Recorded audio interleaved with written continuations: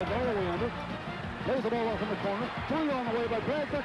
Is good! Illinois wins! Illinois wins! After lassoing Indiana in the last seconds, yesterday the Fighting Illini parted company with Penn State to advance to the Big Ten championship game. The Michigan State Spartans are determined to tear down the nets again and show their mettle as the conference's best.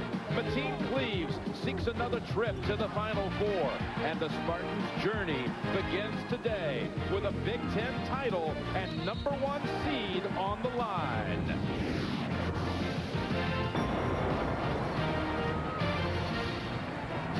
Selection Sunday continues with the Big Ten Championship game presented by NASDAQ. Illinois and Michigan State in the final. The Illini with a last-second win over Indiana, then a pounding of Penn State to make it here. Michigan State with wins against Iowa and Wisconsin.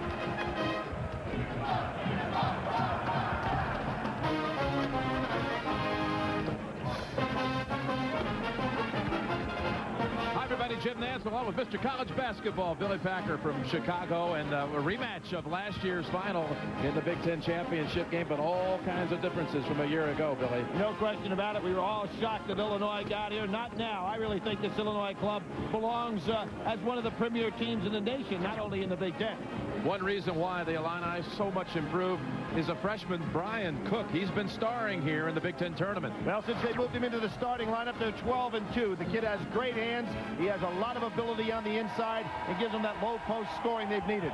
Morris Peterson for Michigan State named in one poll the MVP of the league this year. Well, he goes from sixth man and first team all conference to maybe the player of the year and certainly one of the premier forwards in all of college basketball. All right, Billy, as far as the matchup goes, the X's and O's, we talked to the coaches, Tom Izzo and Lon Kruger, and they broke down the title game for us. I think we're going to have to somehow contain their inside people. I think we will defend their perimeter guys, even though Bradford and Williams are very difficult to defend. I think we got a chance to do a decent job there. It's the depth we lack right now because of Anaganya being out that I'm concerned with the five or six guys they're going to rotate inside. You got to try to rebound and keep them from getting theirs on their offensive boards. You got to try to get back and keep them from getting transition opportunities. And you got to really compete and, and be physical and tough in trying to execute your stuff on the half court. The right to claim supremacy in the Big Ten is on the line with Illinois, Michigan State next. CBS Sports coverage of the road to the Final Four is sponsored by Chevrolet Trucks, the most dependable, longest-lasting trucks on the road. NASDAQ, the stock market for a digital world. And by Bud Light, for the great taste that won't fill you up and never lets you down. Make it a Bud Light. Illinois and Michigan State for the Big Ten Championship. Lon Kruger's fourth year. He's had three 20-win seasons at Illinois, and the other season, a year ago, took him all the way to this title game with a sub-500 record.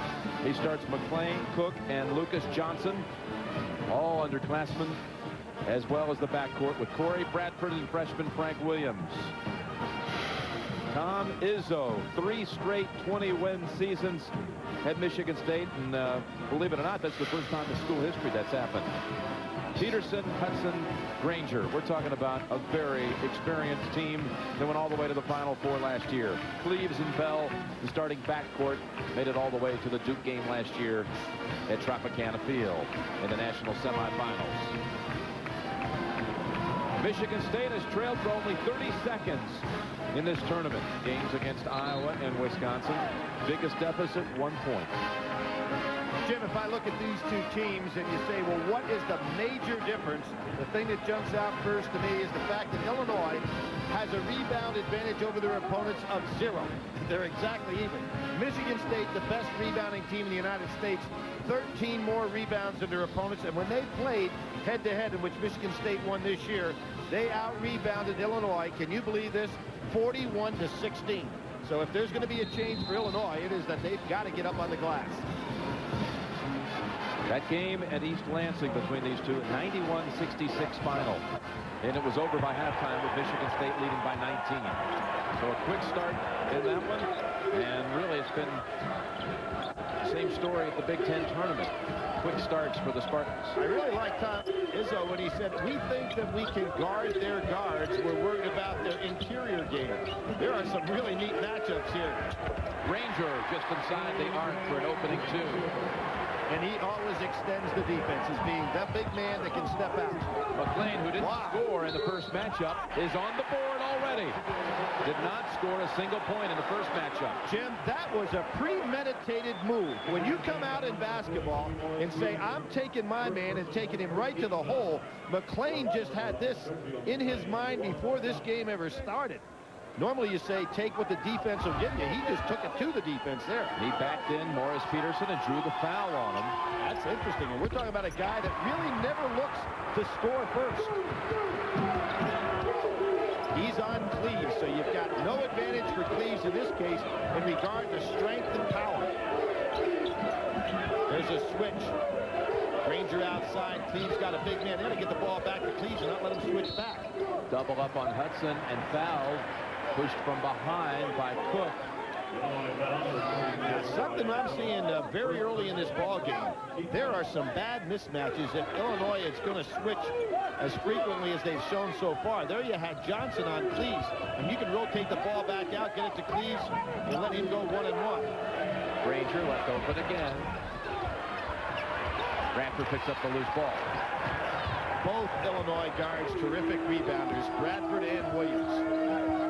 An Illinois team that's 21 and 8 on the year, but closed the season 12 and 2, all against Big Ten competition. Now, this is about as healthy as Illinois has been all year. The only thing held them back were the constant injuries. Johnson misfiring on a three. Michigan State quickly now on the break. Peterson lost the handle. Illinois strips it away. Mike Williams, freshman guns, three-pointer, way short, close. Lucas Johnson saves it. Way out to Bradford. Good play. Good recovery by Bell, too, realizing that Bradford has no limit to his range, so he got out there quickly. Bradford, three-pointer. Illinois not going inside early in this game. I think they're making a mistake. That'll let Cook touch it a little bit. Cleaves pull up. Short. McClain pulls it away. Both teams playing at a pace taken away what they'd like to do best. Inside McClain, thought about it too this long. Is, this is not Illinois basketball in this particular game, and you can see oh, Michigan State's Tom Izzo saying the same thing. Slow this game down a little bit. Get your bearings.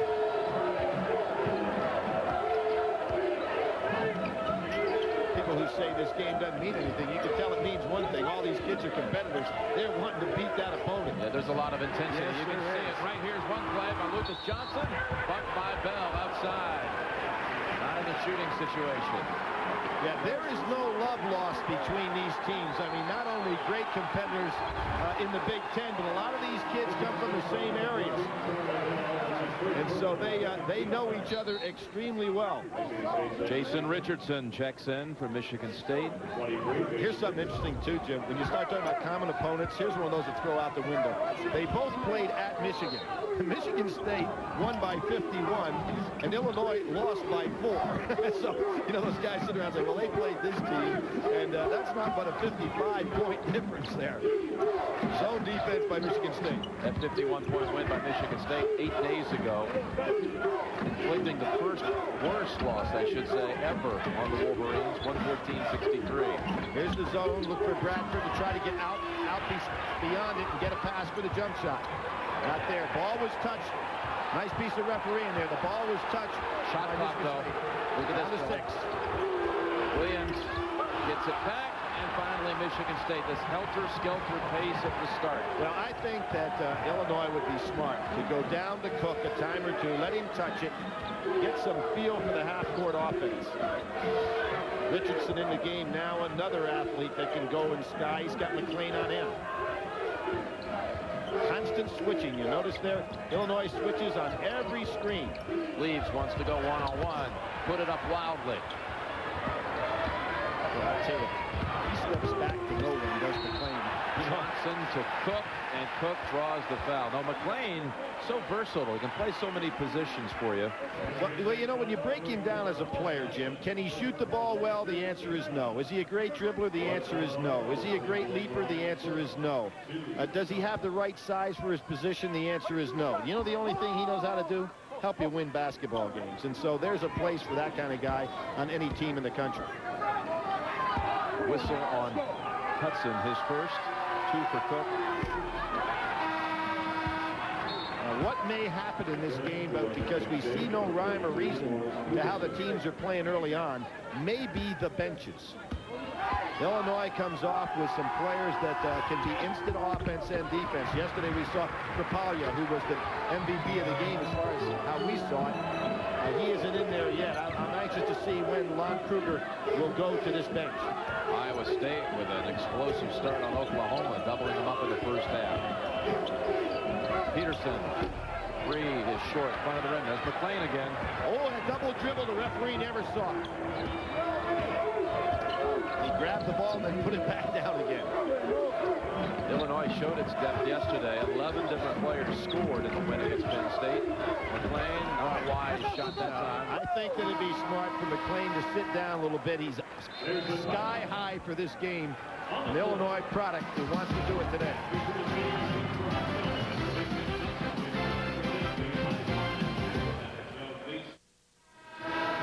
Well, Jimmy, this clock's important in this game, but that clock's important to college basketball. And that's all we have until the exclusive first announcement of the NCAA tournament field. And let me ask you, is Michigan wait, State... I thought you made the announcement. I mean, you are so No. fired up. You are so wired today. My favorite day. What can I say? I mean, you know, normally the fans of the country, when you say, and here are the number one seeds, the number two, I mean, they just assume that's I've done. lost my touch. No, you haven't lost your touch. I mean, Well, let me ask you, is Michigan State playing for a number one seed? If it loses no, here, I think words, they are number one seed, Okay. whether they Win or lose or not. Okay. But these kids are playing. That, that, that's totally immature. You can just tell the way they're playing. I, I love Nolan Richardson's attitude. Let's forget about the NCAA tournament. We're playing for today. And I think all of what we're seeing out right here is these teams are not playing very well because they are such great competitors. It's a sloppy game so far. Traveling against Hutson. Now, I will say this. There are those out there who believe it's so crowded at the top right now, factoring in the likes of Temple. Maybe Cincinnati's chance is still alive. You can see in the regular season, Michigan State shared it uh, as far as conference regular season with Ohio State. Ohio State lost its first round game here to Penn State. There are those who believe that maybe Michigan State is vulnerable, and I would think that Tom Izzo has stressed that point a little bit to his team as well. That if it loses here, who knows? Could maybe cost them a one. I, I agree with you, though. I don't think so. Nice decision by Mateen Cleaves. Now, he had an open jump shot, but he really has good decision processes on the floor. Instead of taking the jumper, he got it to a better person, gets it back, and makes a nice play for an easy shot. The first field goal in the game by either side in over four and a half minutes. McClain really wanted to be down in the low post. There's the answer for Illinois. Let Cook touch the ball inside. A lot of good things are going to happen after, after that. He has such excellent hands, even though he gives up some power, he can play in that low post. Double team. Yep, they whip it around to the open man. It's Bell. Two-point shot. Spins out. He chases it down, though. Gives it up. Hutson for the two. Charlie Bell, solid basketball player who really didn't show up much yesterday, but he's the kind of guy who's had some 20-point games this year, can come up big, always gives you good defense. He's on Bradford now. Bradford with a three. Just a couple now. He's made one in every college game he's played in. Bell up ahead to the trailers. Peterson. Again, Cleaves realizing that Bell can really get up in the air and has the good hands. Normally, that would not be a good pass to the typical college basketball player, but he knows what Bell's capable of. And Peterson, with that great speed, just was able to outleg McClain. Bradford over Bell for two to tie it at eight. I love these matchups in the backcourt. Bradford and Cleaves, Bell and Williams.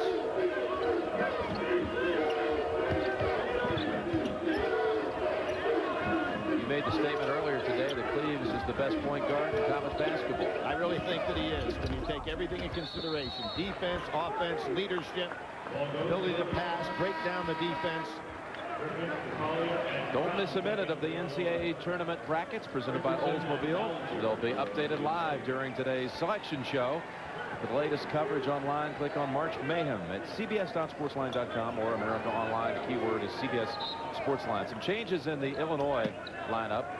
Well, has come in. There he is, such a key yesterday, number 33. Also brought in Marcus Griffin, number 52, and number 32, Cleotis Brown. Three subs for Illinois. And Illinois does not fall off when these three guys come in. As a matter of fact, I think for this kind of game, they have a big advantage over Michigan State. Remember last year when Antonio Smith, Michigan State really was the factor with a great guy down in the in the paint. They don't have that this year, and that's a big difference between their club. Saw the fresh sub for Michigan State, Adam Ballinger, commit a foul in his first minute of action. As they say, Ballinger is not a Smith. Brown. Paulier up on the boards again, but he pushes over the back. Amir Krupalija, just a sophomore. Really one of the key reasons why a year ago an undermanned Illinois team was somehow able to win three games as the 11th seed in the Big Ten all the way to the final. They advanced only to really run out of gas in the second half to lose the championship 67-50 to Michigan State. Well, I'll tell you, Illinois getting away with murder on their switches. That time they had two men on Peterson, nobody on Hutson. Hutson, Griffin on him, Cleaves left open, jumper, too strong. Follow-up try was in and out by Richardson. That's Richardson, and we saw him go up in the Connecticut game we had earlier this year on CBS. There's no limit to how high he can go. There he is again. Bradford struggling from the, the perimeter today.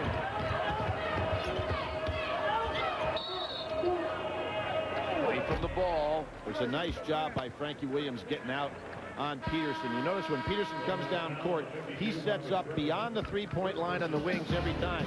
Illinois is not giving him that shot. The whistle was on Griffin. Timeout on the floor.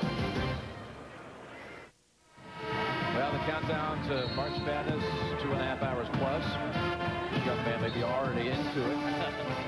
Uh, let's talk about bubble teams, Billy. Uh, this is a list that you've uh, compiled.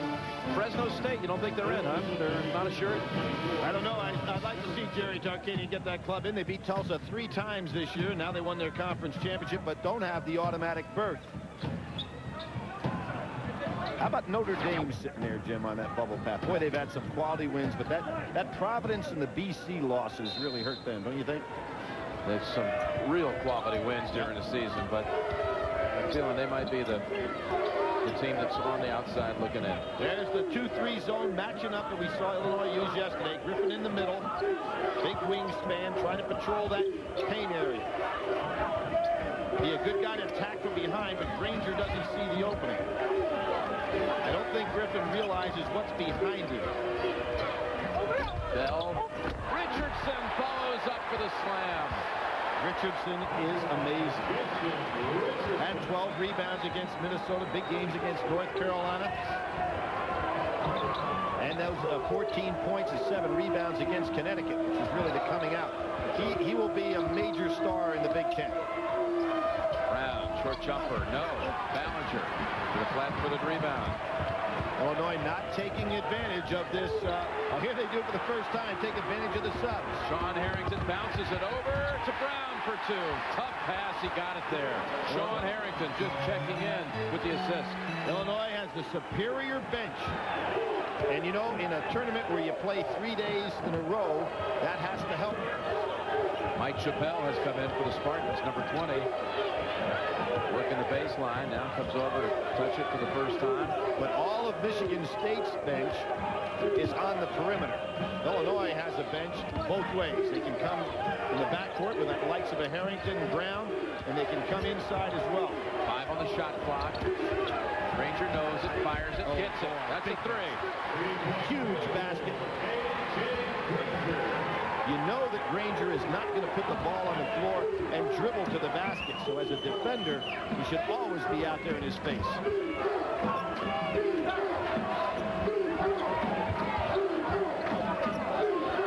Krupalija sets the pick. Williams takes advantage.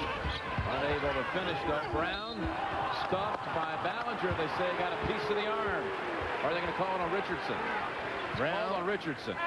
Brown, a starter last year, now coming off the bench, but can be an explosive scorer. Monday on CBS, don't miss the show that Entertainment Weekly calls Sitcom Royalty. Kevin James, Leah Remini, and Jerry Stiller, King of Queens, Monday on CBS. Cleotis Brown, a senior, really the only senior seeing any action for this Illini team. Victor uh, Chukwudebe is a fellow that uh, you would have thought when this season started would be seeing action, but he has had all kinds of physical problems, and so that's taken away his opportunity to contribute. The point is, with that depth that you mentioned, you've got virtually everybody coming back. It gets significant minutes except for this man. Well, Corey Bradford at 32 minutes a game is playing more than anybody else on this team, but then it drops off. The guys playing basically around 20 minutes a game. He and Frank Williams, the only ones over 30. Brown bangs home two. One point lead for the Spartans. Game staying tight as it did last year for a while until the Michigan State just blew it open before the half. There's the switches that Michigan State so far not taking advantage of. Granger tipped out, back to him. Bell retrieves it. Bounces it in. Hutson clobbered from behind. Griffin hit with his second. Two fouls playing in the zone defense on the inside. Not getting the production out of Griffin they need right here. Lon Kruger in his four years at Illinois, 1 and 10 when facing a top 10 ranked team. The highest ranked team he has defeated Minnesota back in 1997 when it was seventh ranked. A win today would uh, be the highest ranked team his Fighting Illini have defeated in his four years. Michigan State four in one poll, five in the other. Well, the highest ranked team I remember him ever beating was Connecticut in the NCAA tournament when he was at Florida, huh? You know, I was talking to him on Friday about that, the highest ranked team, and he reminded me when he was at Kansas State, he beat Missouri when Missouri was ranked number one. Nice piece of information, James. I thought I was all over it with the Florida situation. Just happened to discuss it with the coach. But that was uh, the one you're alluding to was down in Miami in the East uh, Regional, and Florida went on to the Final Four that year in Charlotte, directed by Lon Kruger.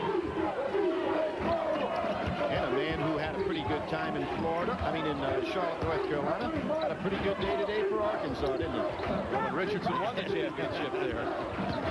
Nice piece of coaching by Nolan to take his young team to the tournament. Oh, Bradford.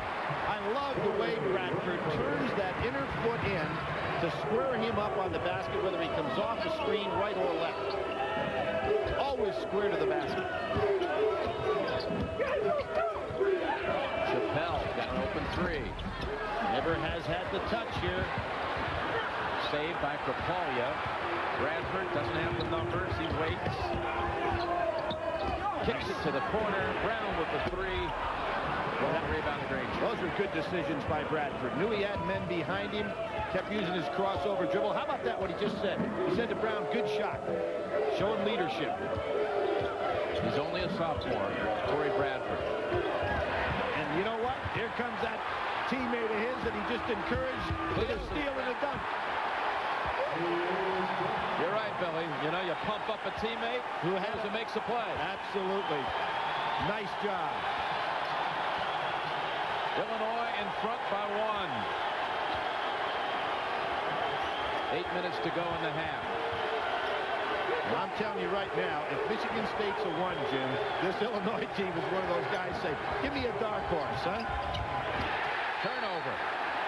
Turnover. seed, would you see it, Illinois in, in the brackets? Maybe as high as a three if they win today. Probably in that three, four, five range. Izzo's team's down by one. The shooting from three-point land is uh, pretty atrocious at this point. 1 of 14 combined. Illinois Jim, for 7. Jim, there's a reason for that.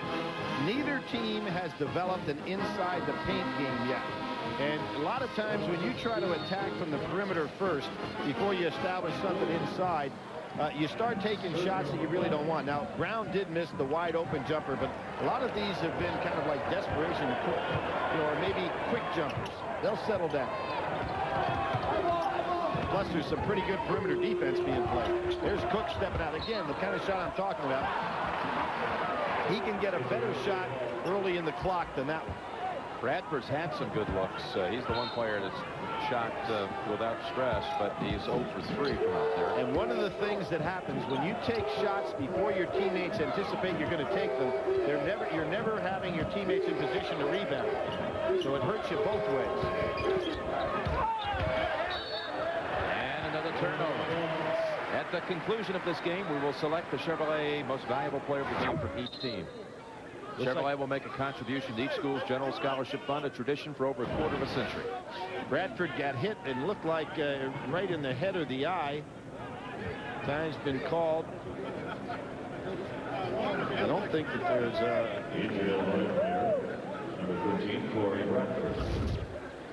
Look on the left side here. Oh, he got the popped elbow. with an yeah, elbow, He sure yeah. got popped right there by Hutson. Unintentional. Yep. It's going down. Uh, I think he's got uh, a little bit of work to be done. Oh, the he, he's, oh, quick, oh, yeah. he's going down again. They better help him a little bit. It's a tough break for Illinois. The teammates uh, very nervously looking at him here. You'll see the elbow come right up here. And I've got him right on the bridge of the nose. Yeah. Hutson with the elbow. He goes straight down. Little woozy right here. You can hear a pin drop in this place, Jim. Boy, and I'll tell you, the, the factor of injuries, trying to work your way to a championship. I thought, Jim, you, you pointed out you had heard earlier today that interview with Bob Huggins in terms of the quality of his team and Kenyon Martin in that situation and how a quality kid that Kenyon was in regard to his comments and the way he came back after his injury to go out and support his team uh, at that ball game.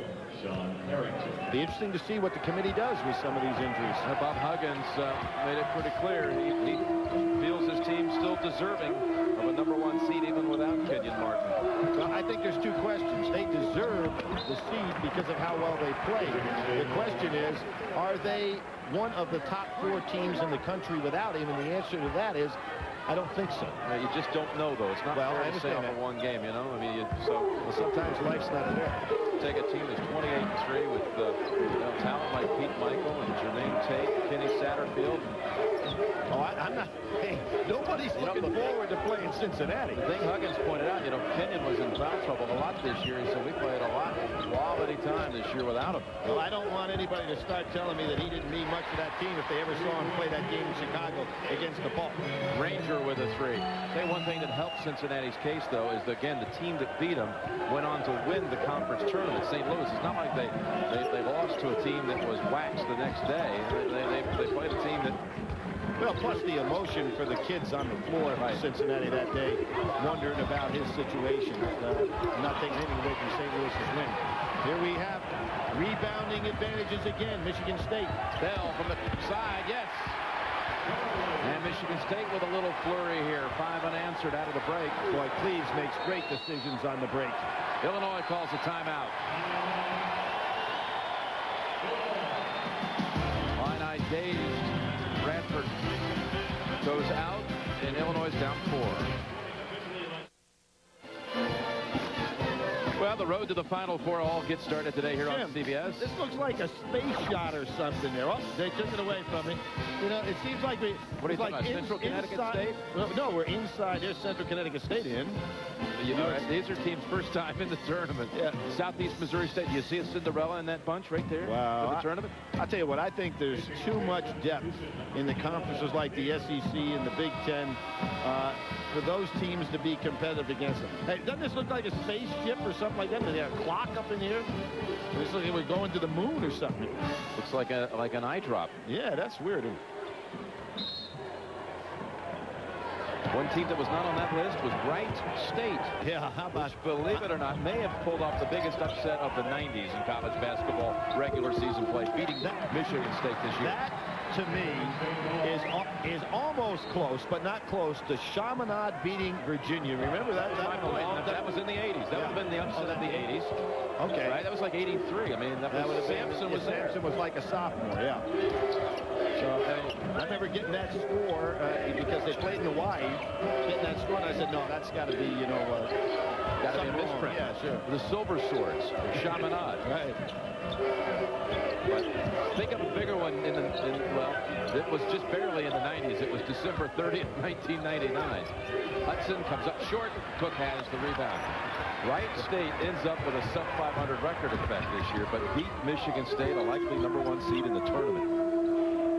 How do you figure? Cleaves wasn't there. That was one thing.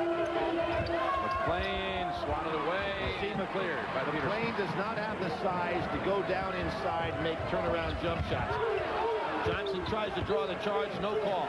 Leeds gives it a bell shot. Williams with a block. Back out to Peterson. Still uh, a real scrappy game. Hutson, McClain comes over. And will they call it on him? Well, McClain is really fired up today. But he has to start using his head a little bit. Called on McClain his first all-time Big Ten titles. Now, this is regular season titles we're talking about. Billy? Yep. Purdue, that might surprise yes, some Yes, it does. Purdue of course, their history goes back a long way. You know somebody that hasn't won any of them? Team right, right here in this town, Northwestern. Never been in the NCAA. I think next year in the play-in game, they ought to let Northwestern play in as one of the teams. They hosted one, but never got to play in. They hosted the very first Final Four, 1939. You would have thought that Bob Dekas could have maybe switched over from baseball to basketball and helped out the cause, our producer. They led the Big Ten in RBIs. Now, Hutson at the line.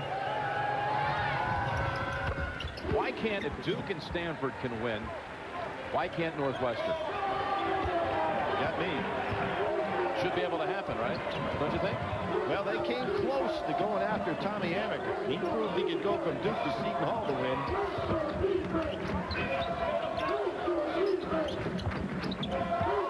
Boy, Cook setting up nicely inside there, battling with Hutson. Not looking for it. Brown spins out. Krupalija battling. Ball free and taken away by Richardson. David Thomas has come in also for Michigan State. How about that crossover dribble? Cleaves puts it up. Krupalija. I tell you, when Krupalija comes into the ball game, it balances some of that rebounding edge that Michigan State normally has. Thomas on a reach. Beginning Tuesday, April 4th, CBS presents an extraordinary eight-night television event. Falcone followed the FBI's best agent as he goes undercover inside the family. Begins Tuesday, April the 4th. Jim is a little check on Corey. I, I, don't see him back out on the on, on the floor yet. Yeah, he's not on the bench. Nope. Uh, he's probably x-raying. Oh, nice. Oh, yeah, lays it in for two. He's going to get a lot of minutes in this game because he really creates a presence inside. Nice head, hedge move by Cook. Williams doesn't switch over. Richardson and one. Now, Richardson's given up some inches there. But believe me, forget about how they list him in height. He plays like a 6'10 guy. As the season's gone on, has he progressed at the uh, level uh, that you thought he would as far as working into the system, contributing to no, the base team? No, but I think that the, the injury that he suffered probably set him back just at the time he was ready to turn the corner. He had the, you know, the, the chest problem, and just when he was ready to make his move, he had to sit.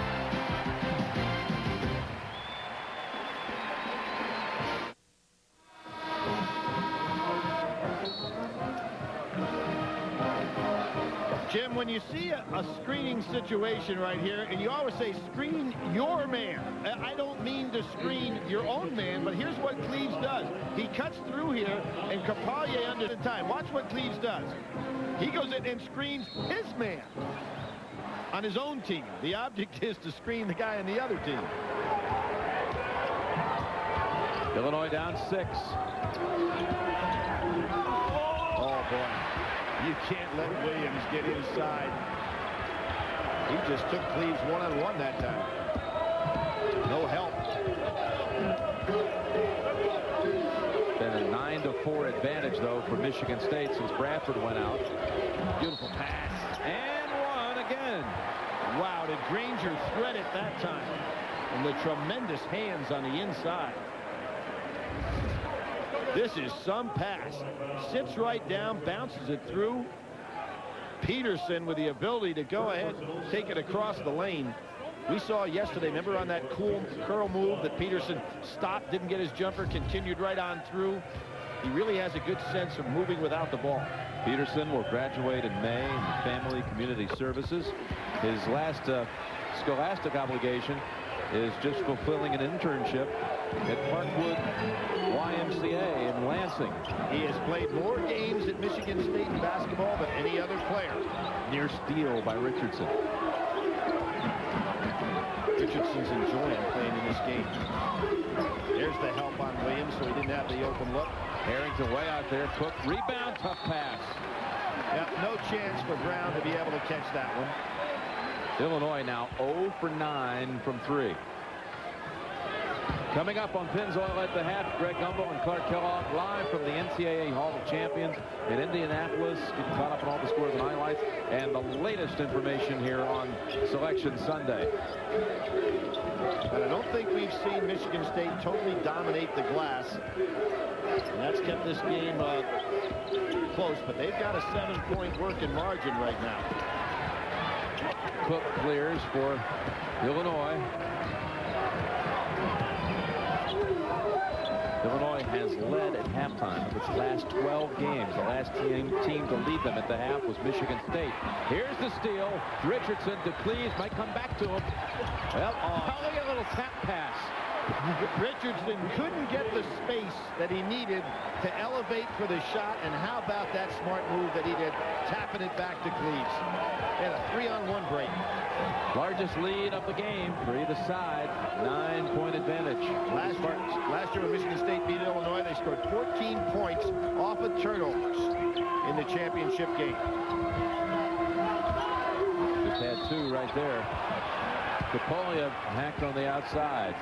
Well, there's a case, uh, inexperience. If you're Richardson, you're going to make that steal. Two things you've got to do. First, move your feet to get closer to the offensive player. And second, if you're going to reach in, have your hands come from under the ball up as opposed to slapping down. Second on Richardson. He'll go out, replaced by Bell. Ballinger also removed. Pretty solid minutes by Richardson for uh, Tom Izzo's club. Izzo's club. One and one for Krupalija.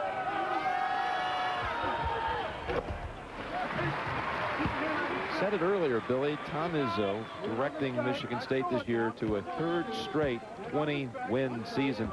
And what's remarkable, you would think with all the history, the championship with the Magic Johnson, Greg Kelser team, etc. That's the first time in school history they've had three straight 21 seasons. You know, Judd Heathcote's not going to appreciate you bringing that up. And Judd Heathcote was a great coach. He, he's the guy that trained Tom. Yeah, he I was. A, a, I guarantee. Tom was an assistant for 12 years. I guarantee in Indianapolis, Judd's going to come up, get right in your face, and say, "I hope not." he's one of my all-time favorites. He's but I'm not pinning it on Judd. This is in the history of this program for 100 years. Well, I thought he coached that team for 100 years. Oh, now now he's going to be in your face.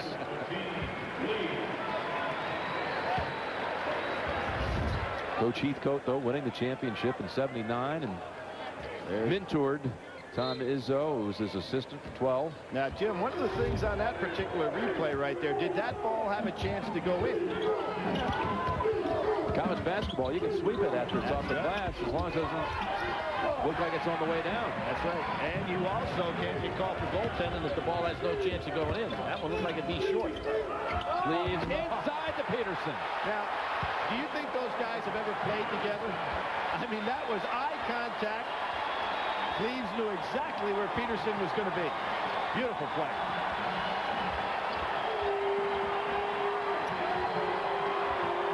Just a minute to go in the half. Double-digit lead now for State.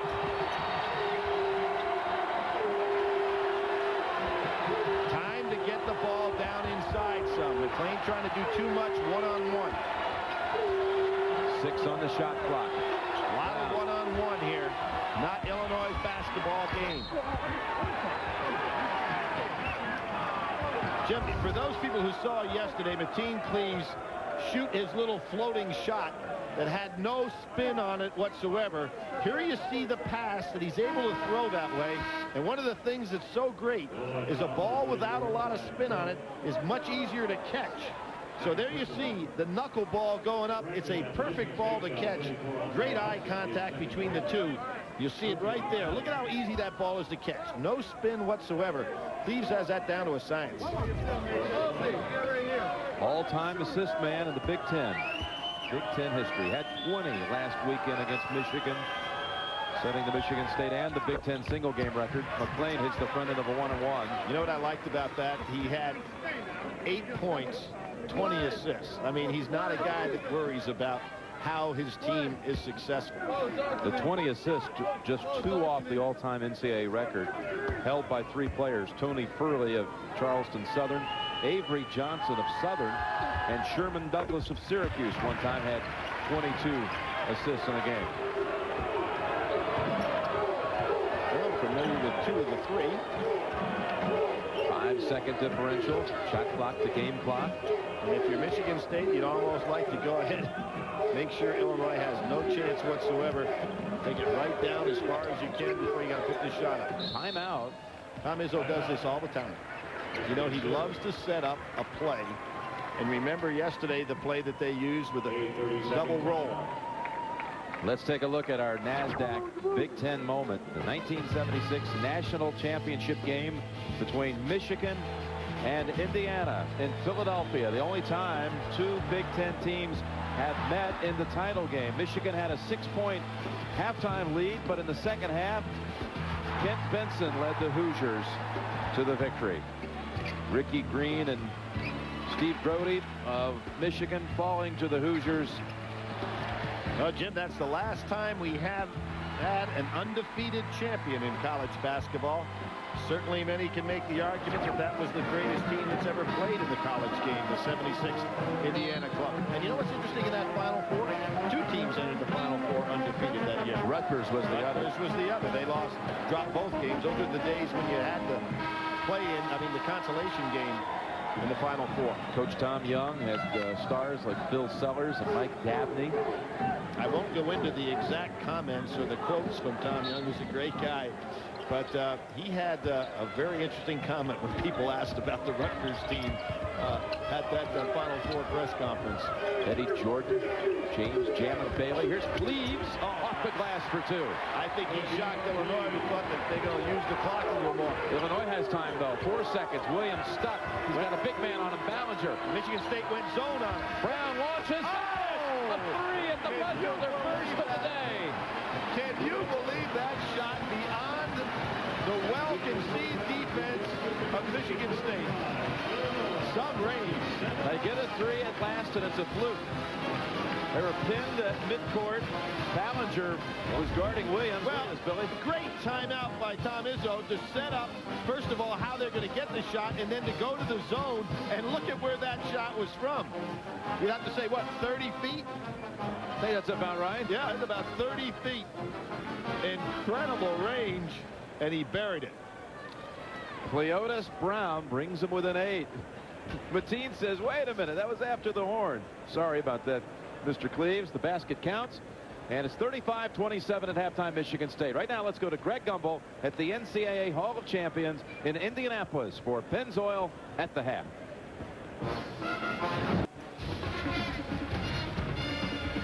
The Big Ten Championship presented by NASDAQ. Okay, let's take a look, Jim. I talked about the switching that, that Illinois was doing early in the ball game, and I thought it was getting them in trouble, and it did in a number of occasions. We're going to see an opportunity here for Granger to lose his man and get a wide open shot. Now let's take a look at it right here. Granger has got a man on him. He's going to go all the way around here and watch. The screen, I mean, the switch does not probably take place here. It again will not take place there. And watch how Granger gets a wide open shot. Nobody's on him. Then they realize it. Now they try to switch back. It's too late. He's got the shot. And I really don't think that Michigan State took advantage of that as much as they can if you're going to get that kind of switching. Michigan State leads by eight, and, and CBS Sports coverage of NCAA men's basketball will continue after this message and a word from your local station.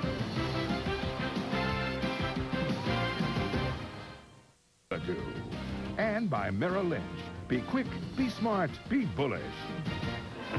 Michigan State leads at halftime thus far in this Big Ten tournament. The team that led at halftime is 9 and 0. Corey Bradford will return. His nose is too swollen, they're saying right now, to x-ray. They believe it's bruised but not broken. Yeah.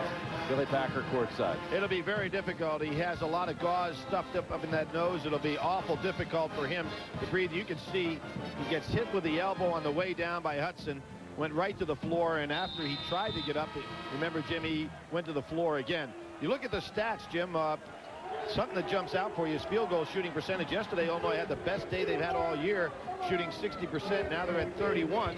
For Michigan State, uh, they held Northwestern right here in Chicago to 17%, so it's not unusual for them to hold a club down. Here we see that uh, three-point shooting, neither team doing well. Illinois, of course, the one three they made was the desperation at the end of the half. Let's see how Bradford is able to handle it now back out here after spending a large part of the first half in the locker room. Well, I'll tell you one thing. He's showing a lot of courage because he's out here with potentially a broken nose, no mask on it whatsoever, and he's just wanting to play. There's the 2-3 zone set up by uh, Michigan State. Five on the shot clock. They don't seem to be aware of it two on the shot clock. Bradford launches. Well, for him, I wanted to see that one go in. It would have been great. Lucas Johnson just banged it off the leg of Peterson to keep it for Illinois. Well, what happened there is that that ball was thrown all the way down to the other end, remember? And it took him a long time to get back into the half-court set. They stay right in the zone. But can shoot from out there. And that one dips in and out. Flat shot. Cleaves runs it. Thought about going to Bell. Decides otherwise. Now he gives it up. Charlie Bell for two. Boy, that was just great decision-making by Cleaves. You know, as you said, Jim, we had the perfect angle. Looked like he might go to Bell. He was smart enough to say, wait a minute, even if I give it to Bell, he doesn't have a good angle to shoot. Lucas Johnson with a perfect stroke for three. Now we see the two big men stepping out. There's Hutson. Good no call by the official. Johnson tried to draw a charge away from the ball. Andre Hutson ran into him, knocked him to the floor. No whistle.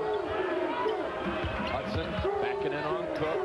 And he'll go to the line for a three-point play. Excellent drop step by Hutson. Now, he knows he's playing against a freshman, a freshman who has been told in the scouting report the man's a left-hander. He's going left all the time, so he drop steps and comes back right. Watch this right here. Boom. Cook has been told he's a left-hander, left-hander. Don't let him go left. You get the experienced veteran. Takes him to the cleaners on that one. Hutson 7 and 2 today. He had 14 and 11 in the one matchup with Illinois this season. Again, if you're just joining us, Michigan State beat him by 25 in East Lansing. Well, any coach would love to have a Hutson. You know, night in, night out, he's going to give you the solid performance. Johnson goes. He hit the three on the last trip. This time he penetrates for two.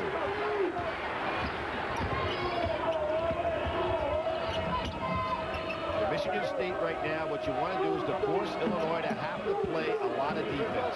Don't take bad shots. You've got a working margin here.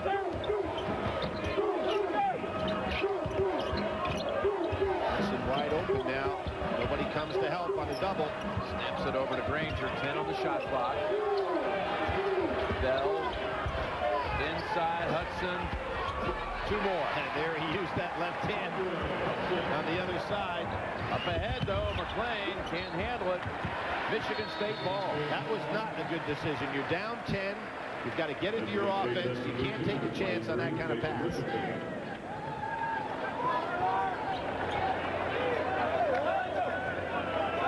Jim, you just think that what a difference a year makes. Illinois coming in last year in this game just about totally worn out both emotionally and physically, having played three tough games as an 11 seed to work their way to a championship. And uh, really weren't given much chance to do anything. But in this game, I still think they have a chance to make a move here. A lot of people were holding their breath a year ago as they could have taken a spot away from someone. Peterson with a three.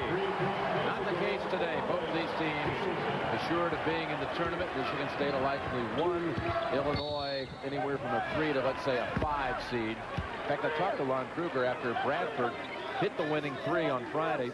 I said, how much do you think this win was worth in the seedings? He said, probably about a half seed. I think they came here as a six. Maybe we're now kind of hugging the five line. We beat Penn State. We're probably on the south side of a five, nearing a four. Won't it be interesting to see how Indiana reacts to that loss? I mean, we're talking about a team that uh, proved that they can play and beat anybody in the United States on a given night. When you start looking for dark horse type teams, if they come in emotionally ready to play, they could be just a, uh, a club like that. Where do you think they'll land at the tournament? I don't know, Jim. Far as like a seed, what do you think? Five? Four, five, maybe? Cook? Yes. Illinois doing a nice job getting that ball down inside. Now they need to get some stops here. Down 11. Well, they are going into Hutson. He's got Cook on his back. Cook better start trying to front Hutson because he's just giving them a, a, real schooling in there. Michigan State has not missed from the field in this half. Five for five. Look out. Peterson with the steal. McClain from behind and no foul. Peterson with two. Peterson a lot faster. Now Peterson hit a cheerleader, but fortunately he gets up. I hope she's all right. Peterson just quicker not only to the ball, but he's got more open court speed than does McClain. State has its largest lead of the day. Bradford. Trying to do it all at once. Give him a lot of credit for courage here. Lucas Johnson takes it out. Yeah, a three. It looks like they're, they're almost desperate here. Like it's a last-minute situation. 16 minutes to go. And you think that those two veterans right there are starting to feel a championship? They know that feeling. You know, it's kind of interesting when you think of the great tradition in the Big Ten. This is only their third year of the conference uh, championships. Michigan winning the first time, and Michigan State last year. Remember Robert Traylor putting the team on his back and taking them all, all the way through the championship in the inaugural uh, tournament. Next year, the Big Ten tournament will return here to the United Center, but in 2002, it'll be contested in Indianapolis. There's the 2-3 zone. Griffin tried to post something down in low, but uh, Hutson beat him to the spot. Johnson tipped it once, tries to save it into the arms of the Michigan State got player. the numbers. Cleaves will know that. Bell. McClain has it. Johnson is still at the other end. He should have stayed there because he couldn't help out. He would have had an easy shot. Bradford, three-pointer. Huge. He's injured, but he's still playing. Corey Bradford. For that miss by Michigan State a moment ago, go back to the end of the first half, they had made 10 straight from the field.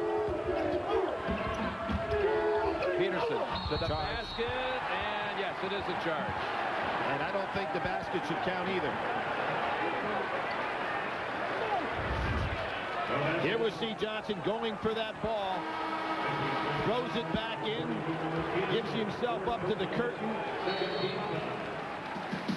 Well, they're down 12, but it's not curtains yet for the Illini here in the Big Ten final.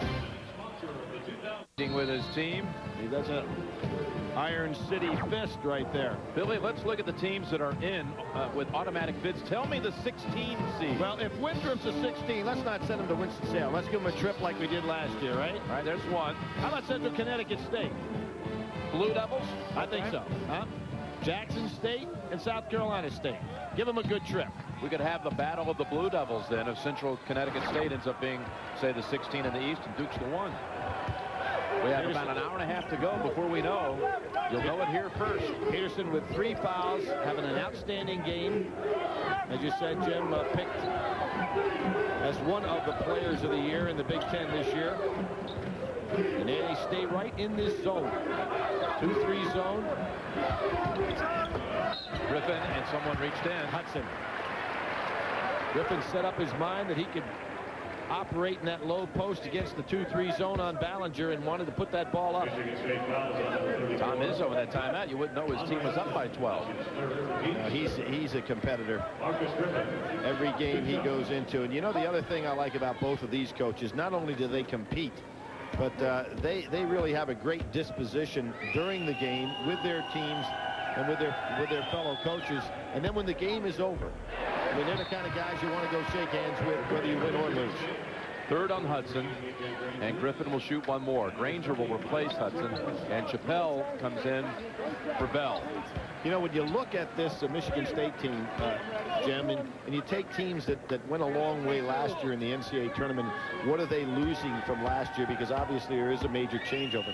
I think Smith's presence in the center made Michigan State last year tougher to play against than this team. Now, I realize all of these guys are a year older, more experienced, uh, and, uh, and more schooled in playing basketball and playing in tournament basketball, but they don't have the presence in the middle they had last year. That's going to be McClain, who wouldn't give up on Cleaves, who took it as a challenge.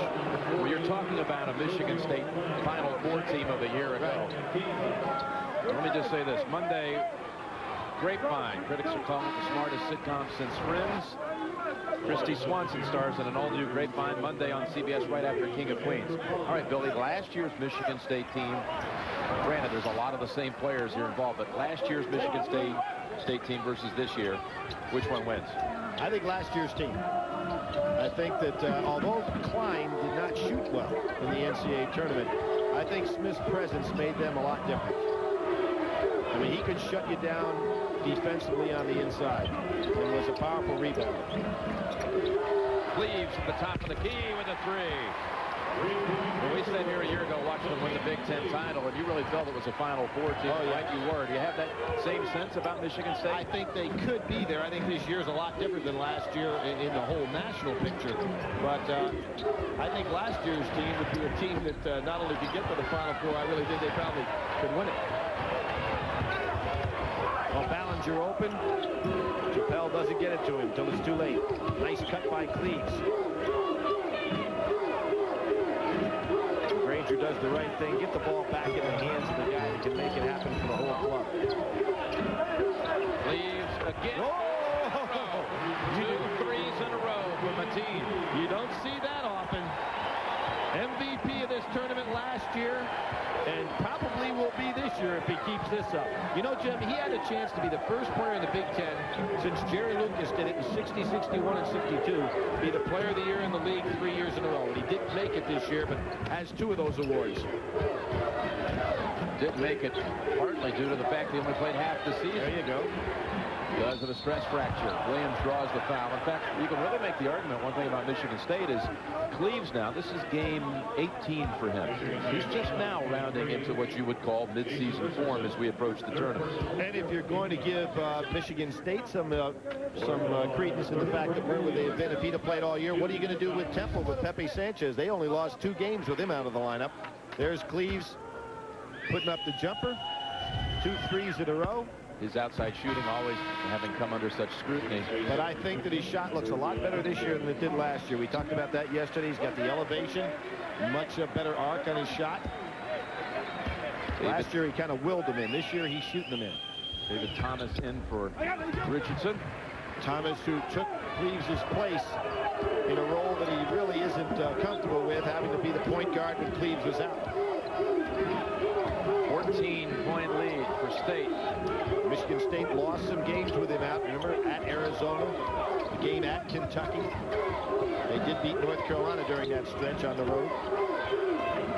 About that 89% from the field. It's 8 of 9 in this half.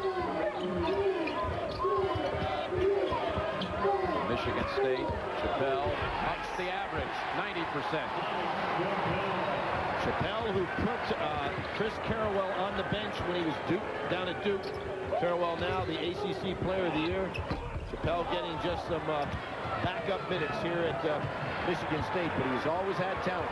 Billy, it seems to me, uh, since Bradford got hurt in the first half, like Illinois has never been in sync offensively ever since, even with his return. Is that true? Well, I, I don't think we're seeing Corey Bradford that we know out here right now. I mean, he, he's got to be hurting a little bit. Nice rebound. Brown, strong, takes it out of there. He doesn't hit it ahead. Travel. He really had Bradford on the wing. He should have hit it ahead and let Bradford take the jump shot. 16-point lead. Michigan State at the Big Ten Championship. Michigan State has matched its largest lead of the game here in Chicago. Under 12 minutes to go. How about the decision making a moment ago Well, by here, Illinois? yeah, here's Brown. Now, what he wants to do here is to deliver the ball to Bradford, who will force the defender to come out on him. At that point, you've got a man here. Bradford can go inside, or if this man stays with him, then Brown gets it back and he goes in for a layup. He doesn't do it. He makes the play more difficult, gets called for the walk, and loses the ball.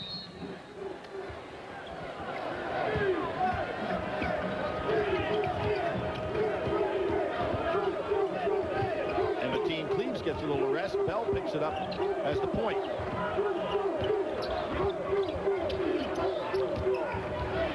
Chappell rejected. That's Cook with a rejection. Good hit ahead. Williams spins and scores. Nice move.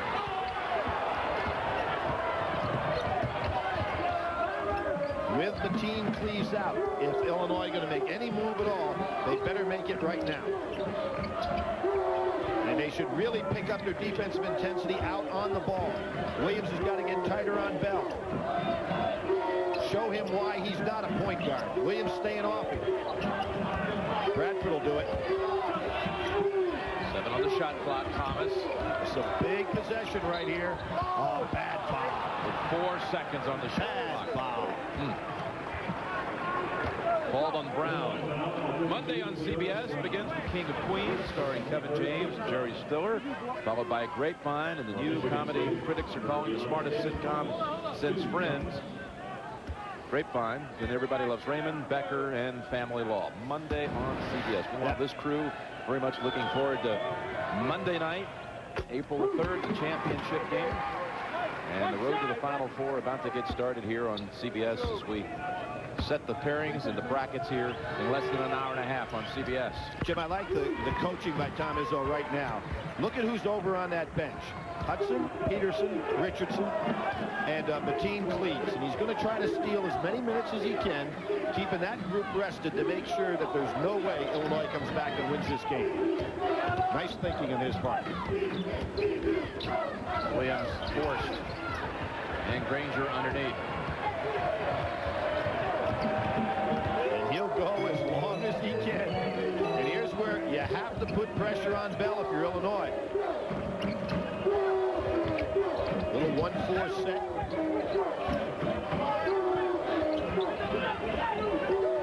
Thomas open baseline. And no block out on the shooter. That was goaltending by Cook. Tipped up and in by Ballinger.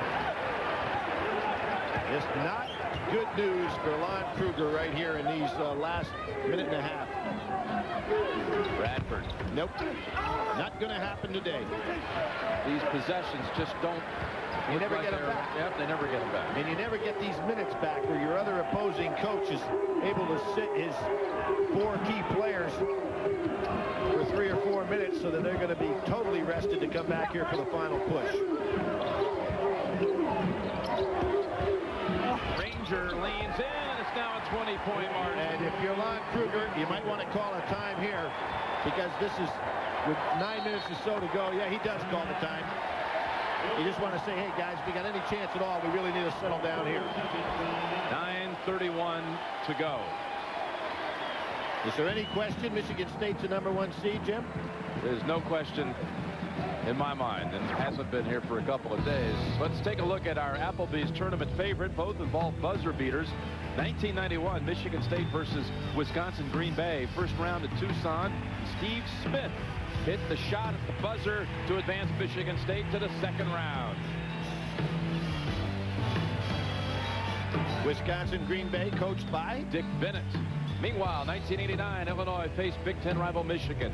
Final four, Seattle. The game was back and forth all game long, but Michigan's Sean Higgins hit the shot at the buzzer. Here it is on the follow. to advance Michigan to the title game, and the Wolverines eventually won. That was one of that was one of the best semifinal games ever played. Doesn't top your Louisville-Houston game, but uh, awful good. Again, the NCAA Basketball Championship Selection Show right here on CBS. The exclusive first announcement, live announcement right here on CBS. You talked about Michigan State being a one seed. What they hope for, and it certainly looks like it'll pan out that way, is Auburn Hills. Auburn Hills would be the regional. Cleveland in the first round, not that far away. And Auburn Hills less than, well, about an hour away. That was a good here. That was a great block. The official was out of position and misses the call. Charlie Bell cannot believe it. So it'll be three for Harrington. Well, in a 20-point game, I guess the ref can miss uh, a call or two. You see Bell, watch this. He goes up, all ball, a perfect block. You can't do it any better. Harrington goes on the line. Illinois 13 of 14 from the line today. Now you talked about Auburn Hills. That would be the site of the Midwest Regional. And some might say, well, wait a minute, how can how is that fair? Michigan State gets to be uh, basically at home in the regionals, but they'll also tell you at Michigan State they're still smarting from two years ago when they had to go to the East Regionals in Greensboro and take on North Carolina, which was uh, Chapel Hill, almost the same distance from Greensboro as East Lansing is to Auburn Hills. Well, I remember one, Jim, of great controversy. Remember when uh, Illinois had to go play Kentucky down in Kentucky uh, in Efrem Winters' years at, uh, at Illinois. That was a great ball game. Yes, it was. That was the 1984 season. Kentucky went on to Seattle that year, too. The Final Four. Turpin. Yep, Melvin Turpin, and then Georgetown got a piece of them, and Kentucky couldn't score. Chappell with five on the shot clock. Long rebound out to Williams. He's got a man ahead. It's Brown. Tough shot, and oh, out. Reach in, foul called on Michigan State. You know, we mentioned uh, Dick Bennett in Wisconsin from yesterday. I was thinking back, and you, you go back into history, we'll see it right here. Brown made the good catch. Thomas almost got a piece of it. Looks like that ball has got to go in, then rolls off the rim. This ball. It has got to go in. Defies the law of gravity here. And then finally goes in the other direction. But think thinking back at Wisconsin, uh, Ohio State lost to Wisconsin the final uh, regular season game during the Lucas years when they went on uh, their senior year in, in, college. And then Magic Johnson, when they went on in 79 to win the national championship, the last regular season game, they lost at Wisconsin. Unfortunately for Wisconsin, those were games that they were going to the NCAA tournament for uh, uh, a Final Four, rather. Major season. Yeah. One field goal last seven minutes for the Illini, down 17. Really struggled from the outside today, only 3 of 19 from 3. Well, Tom Izzo said in our pregame show that he thinks that he can defend the perimeter game of Illinois, and he certainly was right about that. Otis Brown will head to the line for a couple. Brown's played very aggressively today. Michigan State foul number 55, As I said last year, the young man was uh, in that starting lineup. Was a valuable cog to the team. Played very well uh, in this Big Ten tournament. Chukwudebe coming into the ball game now, it looks like. Another senior. I guess, you know, was he in the game, Jim? He must be, because he's standing out on the floor with Lon Kruger. He in, must yeah. have just checked in. I missed that. Cleotis Brown has already fired up 11 shots today. That's the most attempts of the season. Very active day for him. Now look at this. We're down to eight minutes to go in the game. Tom Izzo was able to get almost four or five minutes of rest for his key players, Peterson, Cleaves, and Hutson.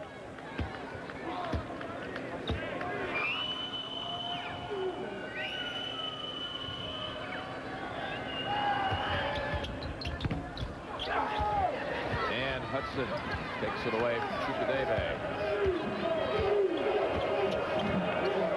Third game in three days for both sides. Yeah, I think from a standpoint of uh, physical conditioning, uh, neither team had an advantage. The games and the competition they played against to get here about even. You know, it's interesting. Mateen Cleaves did not know until yesterday that they were not the number one seed. He just assumed that they were, and Ohio State was actually the number one seed in the tournament. Two years ago, Michigan State was the number one seed. They got knocked out in the first round. Four Michigan State players in double figures, leading them to a 16-point advantage. Look at the second half field goal percentages. Illinois under 30% in the half. Well, they just, you know, with Bradford out of there, and uh, although he's been back out on the floor, it's not the same intensity that Illinois had when they had a chance to make a game of this. It's been all Michigan State. NCAA basketball selection show coming up at 6.30 Eastern time. First thing you'll want to see, who will be the one seeds? Will Cincinnati hold up as a one? Or we get two out of the Pac-10, Arizona and Stanford. I could see that happening too. Jim, how about the, the postseason conference tournament? Some that went kind of true to form. You get the Connecticut-St. John's matchup, which is, you know, reasonable. You have the matchup here between two top teams in the Big Ten. The ACC, Maryland and Duke, the two top teams there. Then you had some conferences that just went crazy in the postseason. Like the SEC. Well, the, the Big the Big 12 was one that went kind of true to form. Two of their better teams getting to the top of the SEC and Conference USA were just crazy. Three-pointer by Harrington. We had four cases this year where a nine seed in a conference tournament beat a one. That included uh, action here where Penn State beat the one Ohio State. St. Louis over Cincinnati, Miami of Ohio over Bowling Green, and Syracuse over, or Georgetown over, Over Syracuse. Syracuse, yeah. Let's take a look at the CBS Sportsline stat of the game and its overall field goal percentages. Michigan State up over 50%. Illinois at 32%. For complete game stats, go to cbs.sportsline.com. Of course, this is a Michigan State team that held Wisconsin yesterday to a season low 30%. You mentioned that earlier. Right. And now they got uh, Illinois at 32% today.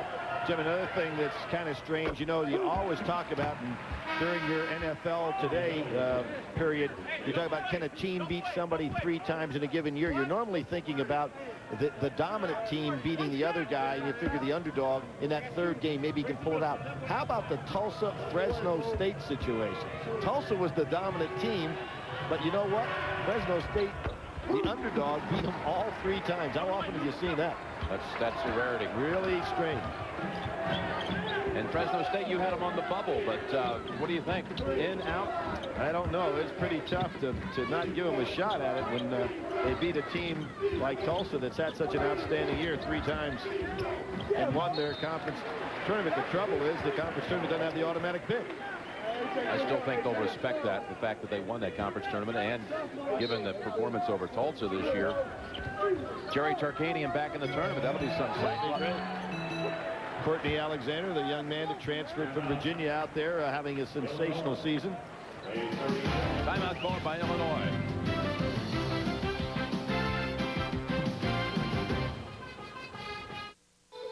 They created their microprocessor in 1971, and the faster their chips have performed, the faster their company has grown. Today, the Intel design is the brains behind the majority of the world's PCs. By the 21st century, their chip could execute 2 billion instructions in one second. Where do you learn about such fast-thinking companies? Exactly. NASDAQ, stock market for the digital world. We're back in Chicago. You know what we need, uh, Jim, in the NCAA tournament? Dick Clark.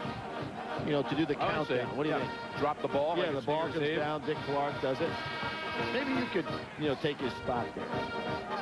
What do you think? It's on another network, by the way. Oh, it is. I, didn't, I didn't realize what I was watching, but uh, He is on our air, I believe, with a, you know, winning lines. You know that.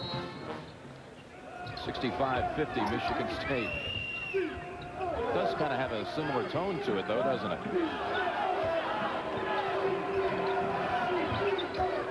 Michigan State staying in that zone the rest of the way, making Illinois try to do it from outside. Great to see Bradford hit one. Brings it within 12 with 6.10 remaining in the game. That shows you what kind of guts he has. The nose is too swollen to x-ray, and he's out here hitting three-point shots. Double team on Cleaves. Lon Kruger realizing he's got to make something happen on the defense. Hutson wide open inside. Nobody will give him the ball. Little 1-4 set. Does he hit another three? Almost. Oh, he wanted to hit that one with McClain right there in his face to give him a little talk. Illinois on a 10-2 run.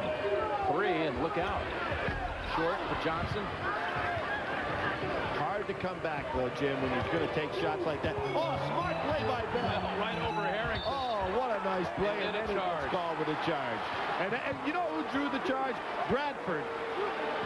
With that nose to step in there and draw the charge. Now watch what Bell does. He flips the ball right over Harrington. Harrington said, where are you going with it? Then goes and picks it up, has the right to dribble it. It's a legal play. He can go dribble, and then all of a sudden, Bradford's waiting on him. He picks up the charge. Talk about guts. Here's a guy Oh. possibly with a broken nose standing in there and taking the draw charge. Third on Bell. Still 12 points here. Time winding down. And Here he is, Bradford, short. They've had two chances at threes to get it under uh, 10. Both misfires.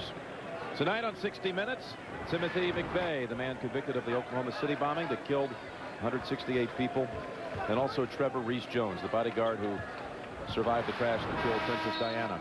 We'll talk for the first time to Ed Bradley and Mike Wallace on 60 Minutes tonight. Cook comes back. Chukwudebe to the bench. But Jim, I look back at this game, and I'm sure Lon Kruger, when he uh, goes and watches tapes of it, one of the things that Illinois did not do in this game, if you're going to beat a Michigan State, they did not go to where they would have the advantage. And that, in my estimation, was going down to the low post early in the game, establishing a low post game, and then starting to work on the outside shots. You remember the first part of this game, guys were coming down, taking quick shots, relying on the perimeter game, and uh, Michigan State just too tough for them out there.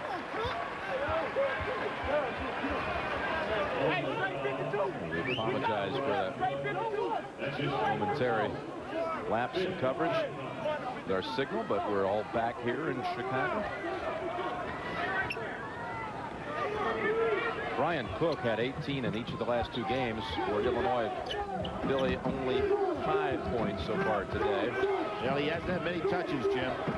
Wow. He hadn't had 18 touches today, much less 18 points. We're taking four shots, and while we continue to power back up here in Chicago, we'll we'll keep you apprised of the score. Down to 10 seconds again. They go 1-4. I'll tell you what, McClain really did a great job there. What Cleaves has been doing is trying to freeze him. McClain looks over at him and take the jump shot. That time McClain anticipated the drive and moved his feet beautifully. You know what it's like banging bodies with Cleaves? Just ask Eduardo Najera. Oh, boy. Last year's tournament. We don't need any more of those. Oh, boy. That, that was some sight right in front of us. Najera having his career high yesterday. Oklahoma will be a tough out in this tournament. Matter of fact, I think all of the Big 12 will be some tough outs. All right, we're back all the way. Johnson comes up short on the bank shot. Four minutes to go. Illinois had some chances now with the number at 12, but unable to inch closer. Well, pretty soon the clock becomes their opponent as well. Plain is giving Cleaves trouble and loving it.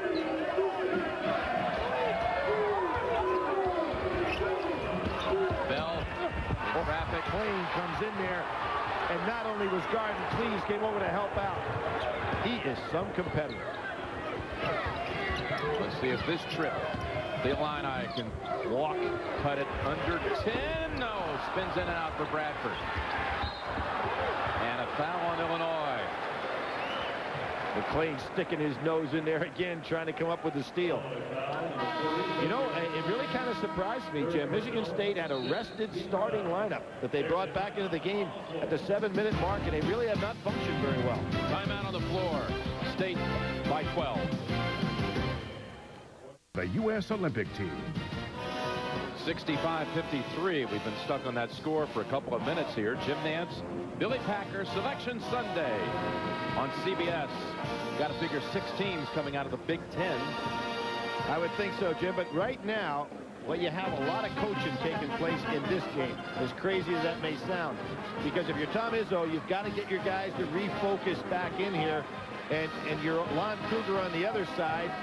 And unless something happens dramatically, your club's not going to win this game. But you got to start now coaching towards the next basketball game.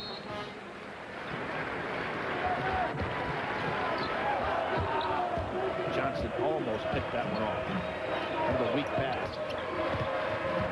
Cleaves came back for his senior year to claim the unfinished business of a year ago. Final four, but no national championship. Granger, three-pointer, bouncing around, picked up by Bell. Will reset. Boy, Bell's an outstanding rebounder guard. And Granger's the kind of guy you get caught in mismatches because he'll step out and then the guard fills in behind him. Bell gives him about five rebounds a game. Yep. Bubble trouble. These are some of the teams right now that are feeling, feeling quite uneasy as we approach the announcement. Hey, I was wrong on that Notre Dame one, too. They, that, the loss was Providence and Pitt, not BC. But in either case, uh, those are the kind of losses that are uh, hard to come by. You beat Connecticut twice, lose to uh, Providence and Pitt. And if they had those two in the bag, they wouldn't be on any bubble at all. Once they had Might that early, early season win at Ohio State. Right. Can't take this much time. Uh,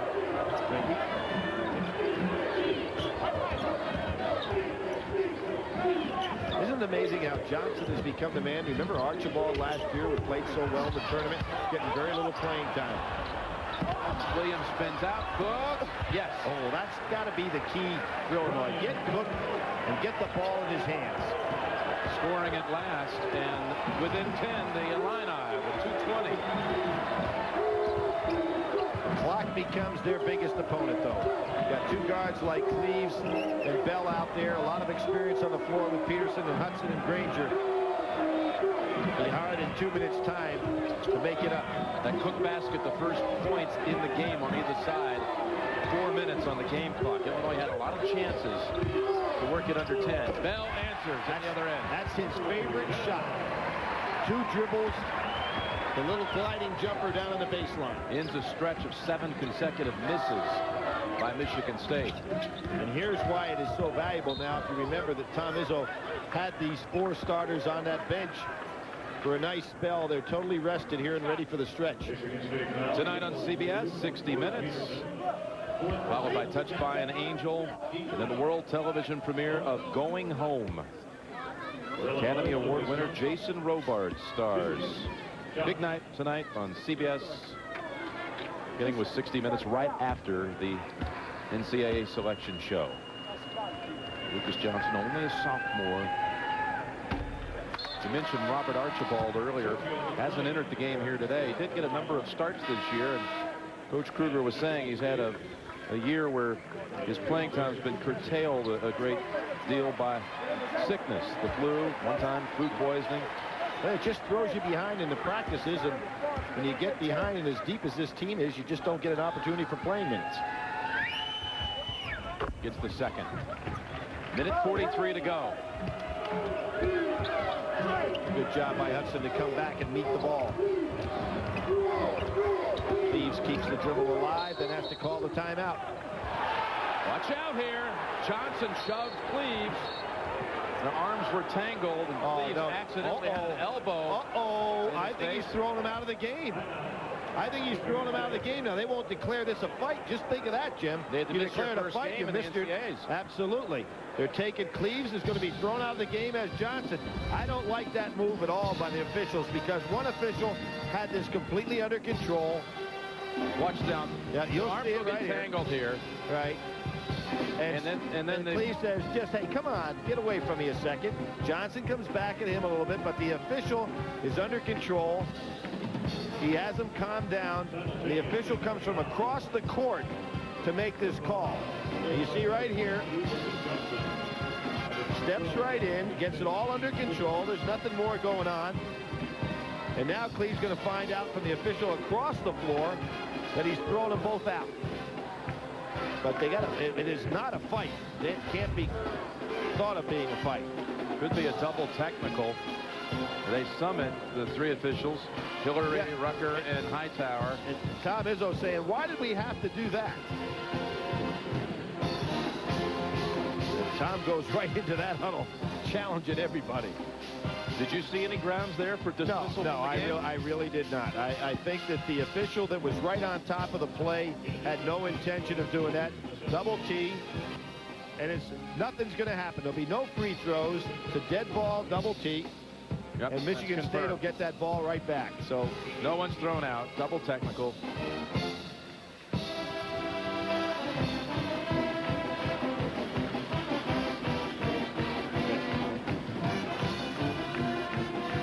Yeah, Tom is uh, a guy that definitely gets your attention when he goes into that uh, huddle. The selection show, less than an hour to go here on CBS.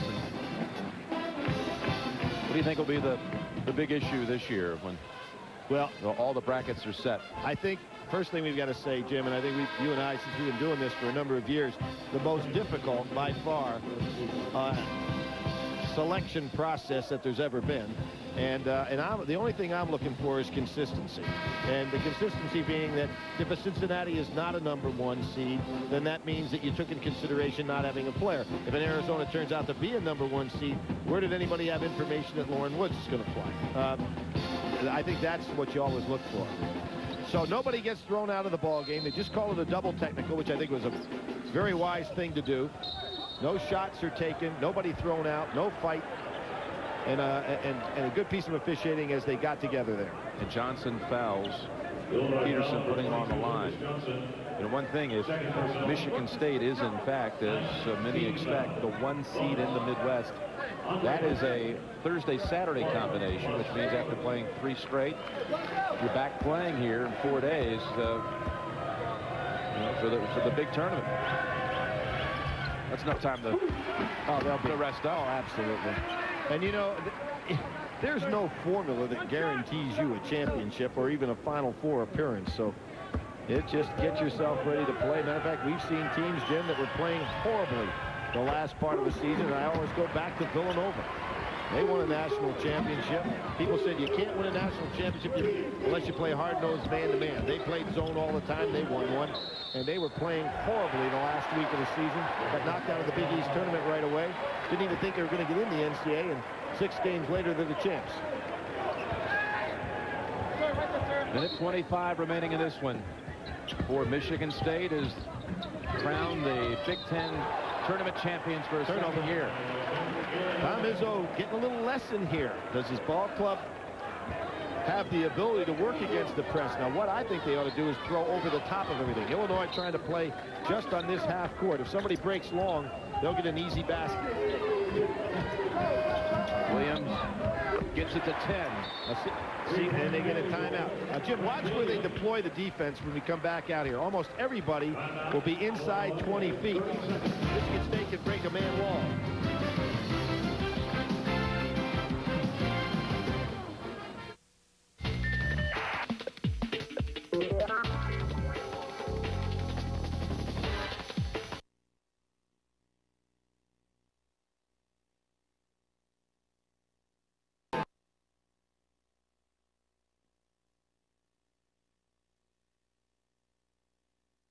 Minutes away from Selection uh, Show Sunday. Everybody get their brackets ready. There always are some surprises. Are you ready? Yeah, I'll be ready. 10-point lead here. Now let's see what Tom Izzo has in mind for his club. Breaks guys here, see if he sends somebody long. Timeout called by Hutson. Ran the baseline, still couldn't find an opening. They, they have got to throw over the top and go down the other end. We'll take a timeout with them. 10-point advantage for State.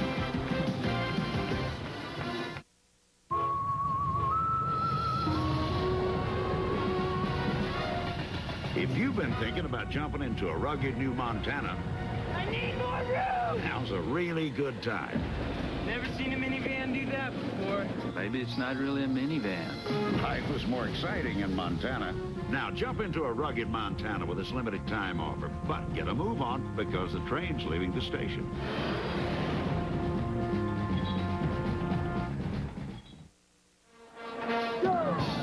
Chicago. And uh, Billy, one last chance for you to tell us the four number one No, no, seeds. no, no, Come on. no, no. You can no. do it. I, I can't, you I can. can't. I can't do that. I can't get up with Jim. You're the you're the bracket meister. I'm wavering on Cincinnati. Yeah, you've been doing that all, all day long. I think it's going to be the two from the Pac-10.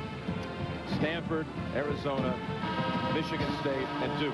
I have never seen you in a situation beyond January the 15th where you weren't sure as to who to be the number one Can't seed. sleep. Again, nobody goes long. Illinois had five guys down here doing a great job. Look at that. Lon Kruger never given up. Izzo cannot believe it. They had three attempts to get the ball over half court and couldn't do it. They have got to throw the ball long. Bradford, this could get it to seven. Granger boxed out with a rebound. Now, it is so tough when the other team doesn't care whether they foul. They don't care whether they give up the easy basket. They know you're trying to run out the clock, so they're coming after you. First personal, 10 The executive producer of CBS Sports is Terry Ewert. Coordinating producer of NCAA basketball is Bob Dekas. Today's game directed by Bob Fishman. Pennzoil at the hat, produced by Eric Mann and directed by Kathy Barretto. The associate directors of today's game, Ken Mack, Bob Vasilopoulos, broadcast associates Fred Johnson and Jonathan Siegel. And the technical manager of today's game, Rick Godwin. Technical director Scott Sickler, Pat McGrath on stats. Jim, let me. McGrath. Jim, let me ask you a question. What if Ohio State were in the position right now that Michigan State's in, having a chance to win the Big Ten championship? Would they have been a number one? Uh, you know, they could have been, could have been two ones out of here, had they made it to this point.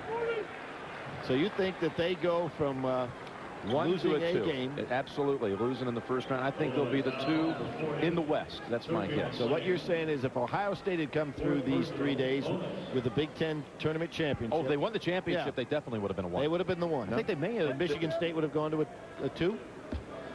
I think they both could have possibly been one. Wow. I think it was very possible. You talk about teams, Billy, that were ranked four or five in the country coming into the week. I think that I caught you in a trap where you have about six different number ones. You have, No. You're giving me the Stanford, Arizona scenario, the Temple scenario, the Duke scenario, the Michigan State, Ohio State scenario, the Cincinnati scenario. I'm at, I'm at an eight. No, wait a minute. You asked me had Ohio State hypothesizing here made it to Sunday. They didn't. Had they? Yeah, it could have been different. Williams scores on the drive. There they go, long, and they'll have something. They have a layup. Cleaves to Granger and one. First time that they took advantage. Now, you can't guard the whole court. And what Illinois was doing is guarding about a third of the court, leaving two-thirds wide open. Michigan State finally saw it and went long and got an easy layup. You see where you have one defender against uh, two offensive players on the other end of the floor. You had four defenders. Well, two years in a row, Michigan State wins the Big Ten Tournament Championship, Jim. Are you saying it's over already? Watch out, folks. Here comes a big Illinois rally. Those pe- the only team I want to make sure I don't broadcast this year is UCLA in this tournament. You're afraid to face it? Yeah, oh, yeah, it'd be tough. Yeah, it's really got me losing sleep. Final 25 seconds. Harrington jumper back to the rim. Granger got a little piece. Mast gives it up. Johnson, he'll take it from the corner. And Cleaves does the right thing, as does Illinois. They drop back and realize this game is over. He's a senior. Let the ball end up in his hands here. Mateen Cleaves. There's only one thing in front of him now. It's a run through the NCAA tournament. That's what he came back for. But his Spartans have once again championship.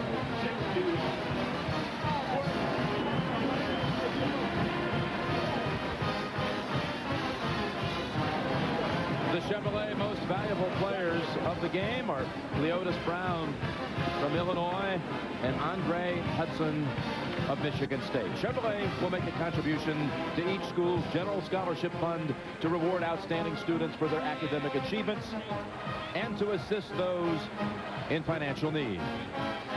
Tony, I love you, boy. Okay, what's up, baby? Represent F-Line. What's up? Yeah, you know I'm trying to get into Good stuff. The PaineWebber CBS Sports Desk is next with Greg Gumbel and Clark Kellogg. Jim Nantz and Billy Packer saying so long for now from Chicago, where Michigan State has won the Big Ten championship. Selection Sunday continues on CBS in a moment. Welcome to the PaineWebber CBS Sports Desk coming to you on this Selection Sunday from the new NCAA Hall of Champions here in Indianapolis, Indiana. This reminder, coming up at 6.30 Eastern Time here on CBS, the live exclusive announcement of the tournament seeds and pairings on the NCAA Basketball Championship Selection Show. We have just seen the Michigan State Spartans claim the Big Ten Tournament Championship. Let's take you back out to the United Center and rejoin Jim Nantz and Billy Packer. All right, thank you very much, Greg. Here with the Big Ten champions, Morris Peterson, Mateen Cleaves, Coach Tom Izzo. Congratulations, the champions again. How does that sound? Well, it sounds great, and these guys did all the work. They, uh, they've had a heck of a career. I hope they got a little left in them right now. Well, there, there is uh, a little more action ahead, but Mateen, how sweet is it for you to come back this year and win a Big Ten title? Oh, it feels great. You know, um, a lot of people really didn't understand why I came back. Now they can see why. You know, I'm on schedule to get my degree, and I won a couple more championships, so I really feel good right now.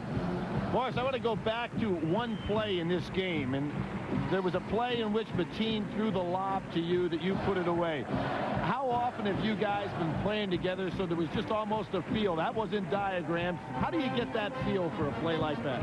Well, Mateen and I have been playing together for like 10 years, and um, it's, it's, kind of being second nature to us. You know, he, you know, he's always there to throw good passes. You know, he, he does a good job running the team, and that's just, it's just second nature to us. How often have you seen him get thrown out of a game for fighting because of misconduct? I mean, does that happen on the playgrounds, any? No, it's a little rougher when we're back in Flint. hey, guys, was there any talk at all before the game that you had to win this one to lock up a number one seed? Did you believe that? Um, well, really, we wanted to. You know, we I mean, we didn't really talk about it. We just wanted to go out and take care of our business and let the voters, you know, however they, you know, vote or whatever, let, them, let that take care of itself. But we didn't talk about it too much. We wanted to come out and win a Big Ten tournament championship. Coach, I see you're shaking your head no. Well, you know, uh, no, I'm saying I agree with them. I mean, we really didn't make a big deal about the number one seed. There's a lot of teams deserving of it. I think we're one that should be considered. But with seven losses, I can understand it either way. And we got to beat a lot of good teams to advance anyway. So what's the difference? Hey, the coach says he's going to leave it up to you guys whether or not you want to tear down the nets here. What's the what's the decision? We're going to tear them down. this is Chicago, huh? hey, congratulations, guys. Nice All the best in the NCAA tournament coming up. Let's go back nice to Greg and Clark in Indianapolis. All right, Jim, thank you. So the Michigan State Spartans, 76-61.